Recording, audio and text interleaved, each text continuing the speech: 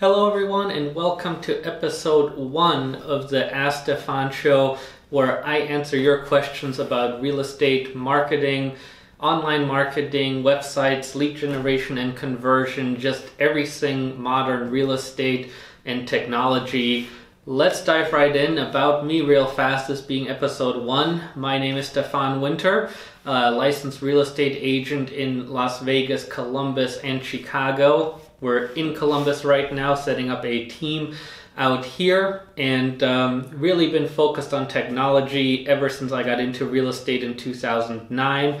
Literally had the first uh, agent app in Las Vegas in 2009. I jumped in on Facebook advertising in 2013, and it was really impressive what you could do in 2013 to 2015 16 and especially 17, every agent started jumping into it, and it's just way oversaturated now to uh, be super effective. But we've moved back to Google Ads, which now have become more effective again.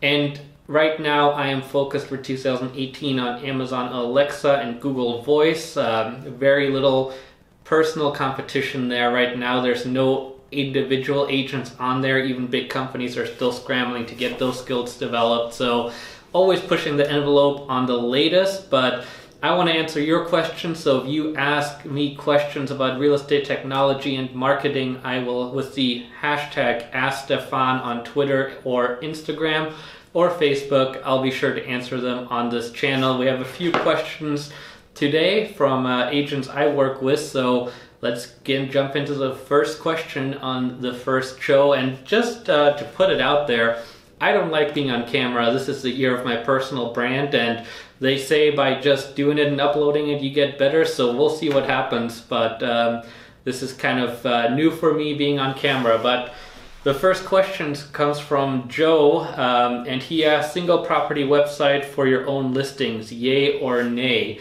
So, single property websites, I think they had their place a couple years back. Um, when websites still had a cool factor and people would type them in.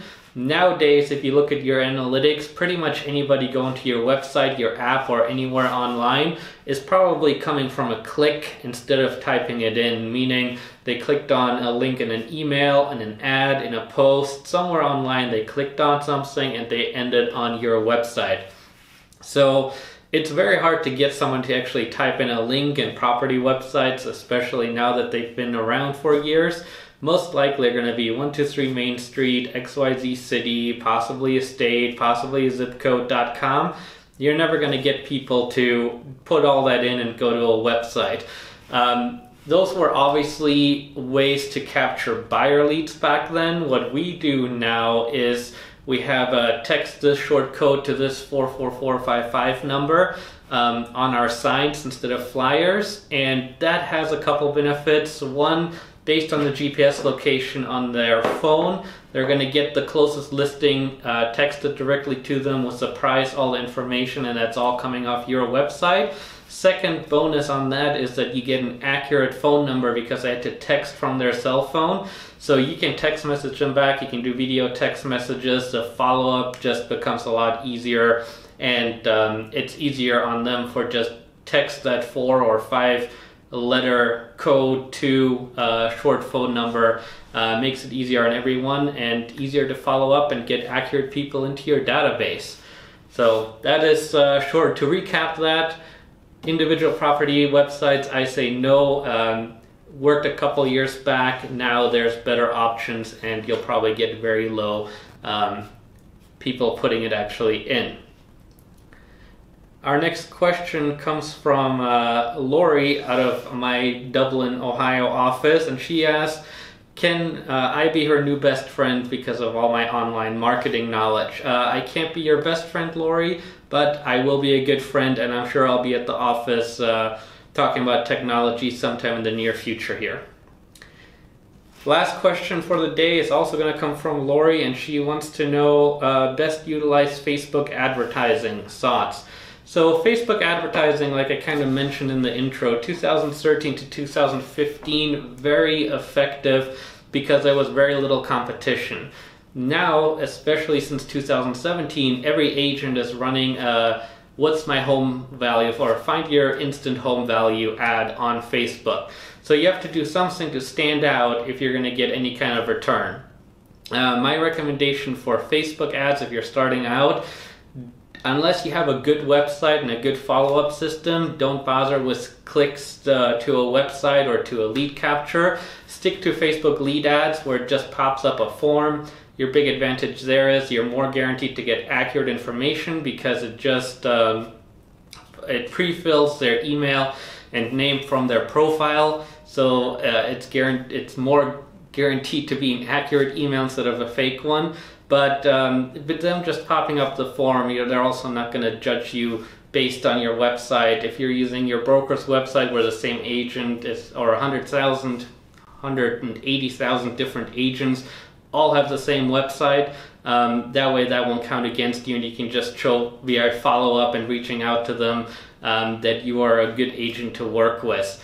Uh, if you do have something to differentiate, differentiate yourself from um, everyone else, then Facebook ad is definitely still a great way to reach the end consumer, bypassing everyone. An example of that would be say you invested $1,000 into buying a drone. Um, now you can use offer drone photography on every single listing that you take. It's uh, kind of common nowadays to have drone photography for the 800,000 and plus uh, range of listings, but the 200 to 600,000 dollar range that still has kind of a cool factor. So you can really capture that market. They go with you because they are getting something that they wouldn't have expected. The extreme version of that would be to go and buy a Matterport camera and then offer uh, real, real virtual reality tours, not the zoom in picture kind, but 360 uh, headset virtual reality tours uh, on every listing, and that's really something still kind of special. Interestingly enough, the new Matterport camera would actually save you on a photographer because the 360 scan is good enough to just pull pictures um, off it. So that would be kind of the extreme version, offer people something that they don't expect in their price range, will really help you to get clicks, accurate information on Facebook. That is kind of it for episode number one. I think I'm going to answer two or three questions a day um, and try to get better at this video thing, the editing, as well as the uh, presence on here. I know this is probably not the best episode, but let's see what happens by episode 10 if it's any better. Again, my name is Stefan Winter, and if you have questions on real estate marketing and want them answered completely free from somebody actually doing it, that's been written about in Inman and has been out there and experienced all of that, go ahead and uh, ask with the has- hashtag AskStefan on Twitter, Instagram, or Facebook. And I will see you guys tomorrow in episode two.